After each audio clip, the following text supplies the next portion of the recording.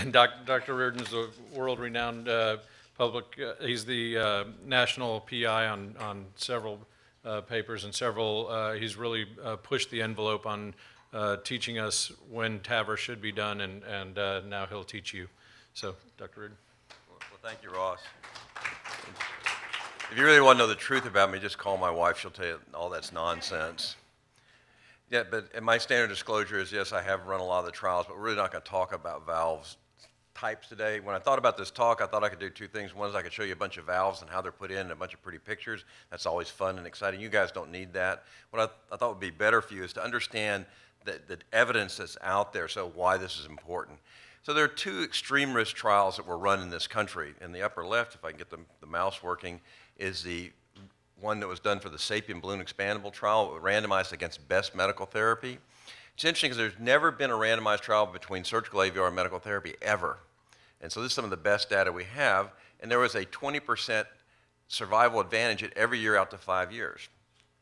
When we ran the CoreValve trial, which I designed, we wanted to randomize against medical therapy, but partner had already come out, so that was no longer ethical. So we actually had a performance goal, which was the 95% lower uh, mortality level of partner plus five contemporary balloon aortic valvuloplasty trials. And we beat that goal handily. In fact, it's gone out to five years now, and the survival is good. So FDA approved this for people that were not surgical candidates. Then we ran high-risk trials, which were people that were surgical candidates with a presumed surgical mortality of above 10%, but still operable. This is the partner trial for the SAPIEN, and you see at five years there's no difference in survival. In the CoreValve trial, where we did the same thing with the balloon expandable CoreValve versus surgery, at one year, there was actually statistically superior survival for TAVR over surgery. It's the first trial where a device had ever beat surgery, ever. And it was statistically superior at two years. By three years, we still had a delta of 6.2% in favor of TAVR, but we'd lost statistical superiority. Five year will be presented at TCT by Tom Gleason. So high risk got approved by FDA. There's a couple things you need to look at in high risk.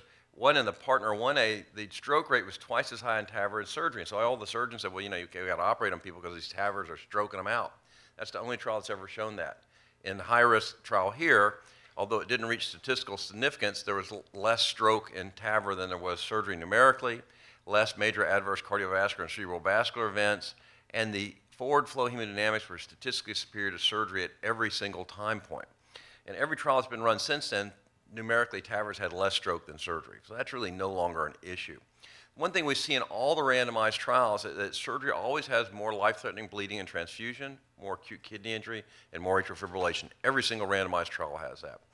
And then TAVR tends to have more major vascular complications. We're using big sheaths and more pacemaker implants. Now, I was a little shocked that, that we lost to uh, TAVR, and so I went back and did an analysis of every single death. I looked at every death in TAVR, every death in surgery, and created this instantaneous hazard risk of death. Zero to 30 days, your procedural risk of death one to four months, your recovery phase, and the constant phase. And the only time that, that TAVR was superior was in the recovery phase.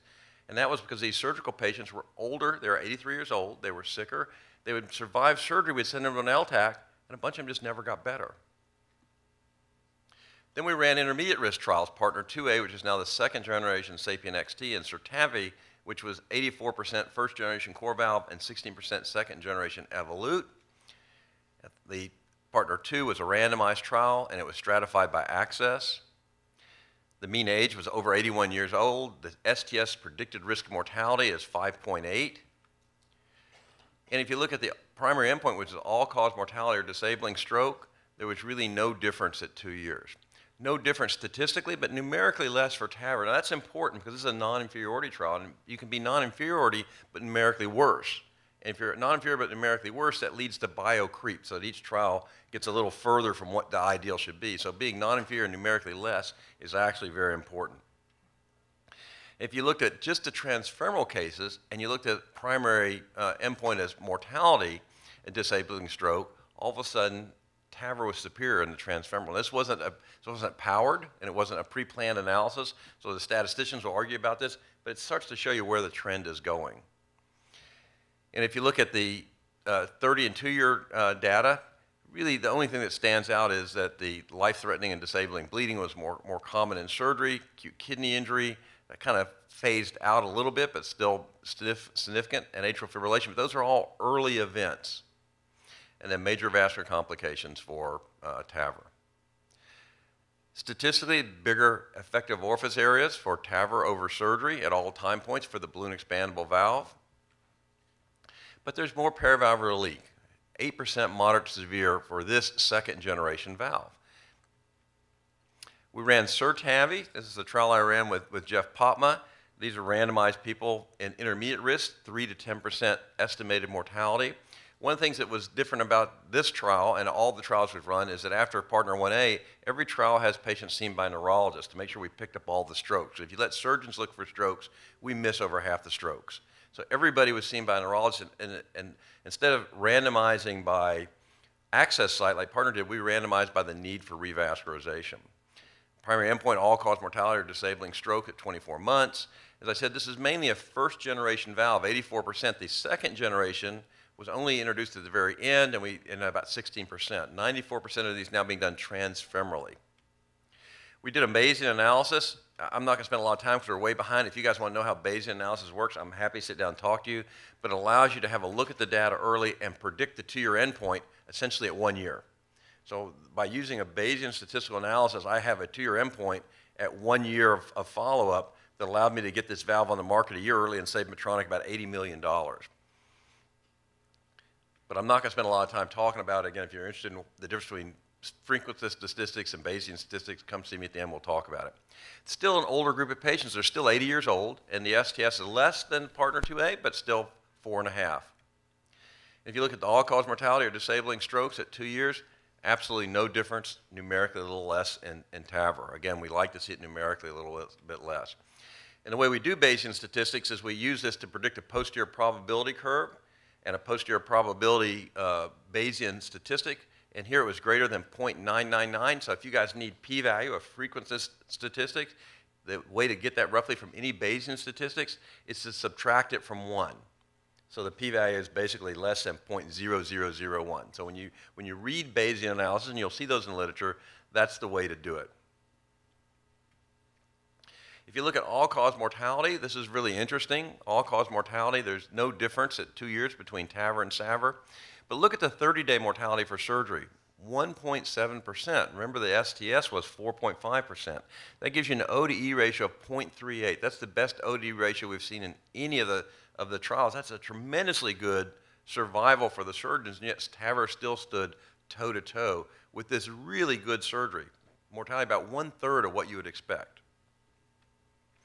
And again, I went back and looked at the instantaneous hazard risk, and this is what you see now. What happens is they start lower, they fall faster, and they just stay down. These are healthier patients, and so they don't have that problem with recovering.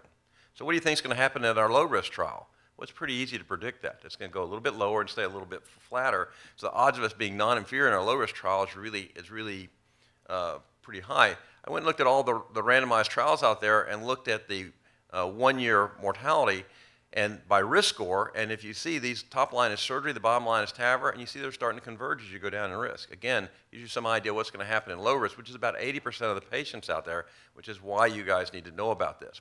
And again, disabling stroke, numerically less for TAVR. It didn't quite reach statistical significance. Again, when you read Bayesian statistics, look at the 95% confidence interval for difference. If both those were negative, then it would have been superior for, for TAVR. If both of them are positive, it would have been superior for surgery. If one's negative and one's positive, it hasn't made it. But one being that far off, that's like being 0.055. It's trending, but it's not quite significant. One thing we know about TAVR is the procedure time's always less. There is no cross clamp. The anesthesia time's less. The ICU time, we, there's an ICU time. We don't send people to ICU anymore. This is all old data. It's very unusual for anybody to go to the ICU, and most people are home in two or three days. So this is pretty old data where surgery really hasn't changed. If you look at where surgery uh, wins, uh, surgery wins in pacemaker use and, uh, and PVL, TAVR wins in cardiogenic shock, AFib, acute kidney injury, transfusion, and stroke. Transfusion, acute kidney and atrial fibrillation, all important because they kill you now and they kill you later. Surgeons have got to do a better job. And this is the hemodynamic data I presented at the American College of Cardiology last year, and we published in New England Journal. And what you notice is that it's statistically better. TAVR tends to give single-digit gradients, which is really unusual in surgical valves. But more importantly, look at the EOA, 2.13, 2.15. Keep that in mind. EOAs are really important. We haven't paid attention to them. Everybody gets better in their functional class. Both these relieve aortic stenosis. But when you look at the KCCQ, the Kansas City Quality Myopathy Score, which is a 100-point score, 100 perfect, zero death, five-point increase is a small increase, 10 points moderate, 20 point is great. Both these increase 20 points, but TAVR does it much faster at 30 days. By six months, surgery catches up. By one year, they're the same. Now, here's another thing that was really interesting about that. Everybody got a six-minute walk test at baseline at one month and one year. And not surprisingly, TAVR did better at one month than surgery, right? Because you're recovering from surgery. You don't expect them to do as well. But if the KCCQ comes up, aren't you recovered by year? Shouldn't the surgery people recover by year? Well, they, they recovered some, but they still were statistically behind TAVR. And some of that may have to do with the hemodynamics. And again, TAVR here, we have 5% moderate to, to severe paravalvular leak. Surgery just had a 1% rate. Again, that we have tended to lose. So both intermediate risk trials are done, and that's actually approved by the FDA. There's a non-randomized S3, which was a, a the third generation valve. They're still 81 years old. It's still five. The thing to look at here is look at the 30-day mortality now for TAVR, 1.1%, and the, and the stroke rate, disabling stroke rate is 1%. One of the things we thought about when we went to low risk is that the low risk trials are going to be the 1% trials for surgery, 1% mortality and 1% stroke. And in this non-randomized intermediate risk group with the third generation balloon expandable, it's pretty close to that. And they went back and they propensity scored it against the surgical arm of the randomized P2A, and they did statistically better. Now, we can have a long argument about whether or not these are valid statistics. Um, you know, it's been going on for a long time, and I tell everybody, ignore the statistics. Just look at those numbers, 1.1% mortality, you know, 1.1% stroke. You know, those, those, are, those are tremendous numbers. It's like the two guys that are riding the donkey in the midday heat, and they stop for lunch, and the only shadow is the donkey shadow. So they start arguing about who gets the shade, and the donkey runs off. Well, if you're arguing about the statistics as a surgeon, the donkey's going to run off. You got to pay attention. And if you look at the all-cause mortality, again, the, the S3 did better than surgery. Again, it's not, a, not that big a surprise. And if you look at, at stroke, TAVR did better than surgery. Everything after Partner 1A, TAVR has numerically less stroke, every single trial. Now look, moderate severe paravalvular leak rates down to 1.1%, getting closer and closer to surgical valves. Uh, now, the SURTAVI, I told you, was, was, was 84% first generation valve. We did a continued access where we did 275 patients. Now it's 93% second generation valve. And if you look at it, it's a little bit younger. Instead of being almost 80, it's 79. The STS has now gone from 4.4 to 4.1. But the thing to look at is look at the all-cause mortality. All-cause mortality at 30 days, 275 patients, 79 years old, 0%. I'm not a great statistician, but it's pretty statistically hard to beat zero. Disabling stroke, 0.4%. So if the low risk trials are going to be the 1% trials, surgery could be in trouble based on this data. And if you look at the, the um, moderate to severe paravalvular uh, rate, uh, paravalvular leak rate, 1.1%. Again, starting to look a lot more like a surgical valve. And in fact, I took SURTAVI and divided it into the first half of SURTAVI, the second half, and the third half, just to see how we were improving. And look at the improvement in mortality in blue and, st and stroke in red. This is better devices and people learning how to do this better. We had a bigger valve added, the Evolut 34. Interesting, we now have single digit gradients that are approaching the number five. We have EOAs of almost two and a half. Those are almost unheard of. And then the third generation was the Pro, where we wrapped a pericardial valve, a pericardial skirt around this to help seal it up. When I was helping Medtronic design this, I told them this was a stupid design. Just wrapping pericardium around there wouldn't work. You needed something better. I was wrong. I'm wrong a lot. That's, being married for 43 years, I've learned to live with being wrong a lot. Uh, and, and the reason is, is that this increases the surface contact by eight times, just putting that wrap on there eight times. You still have really good EOAs with the, with the third generation Pro, but more importantly, look at one year. The green is traced to no paravalvular leak, 90%. The blue is mild, about 10%. There is no moderate severe. This looks like a surgical valve. This is the competition that we as surgeons are going to have to be dealing with. And the pacemaker rate, which has been a problem with the self-expanding valve more so than the balloon expandable valve, now down to 11.7%. If you look at meta-analysis of surgical pacemakers, they range between 3 and 11. And if we want to go to low risk, we really need to get to, to be 10% or less, but we're getting closer and closer to that. So for intermediate risk and low risk, for intermediate risk, if we want to use, think about TAVR versus surgery, you need equivalent or better mortality. We've shown that. Hemodynamics, TAVR is actually better hemodynamics no matter which valve, commercial available valve you, you want to use. Quality of life, quality of life is the same in both. patient acceptance, I didn't show any data, but everybody walks in my office wants a TAVR. Nobody wants me to operate on them. Some people come and say, you know, Dr. Aaron, I've got the internet out, and here's, I've read this article about TAVR, and I say, yeah, but you've got an aneurysm. You know, you, and it's in your belly. No, I'd rather have TAVR. You know, it's really good because I read. Everybody wants TAVR. Morbidity is really paravalvular leak and pacemakers, but those are getting smaller and smaller. That's an engineering issue and a, and a deployment issue. And the big question is durability. We don't know durability. And we're not going to know durability from the, from the extreme risk or the high risk because they're 83 years old. They're all going to be dead.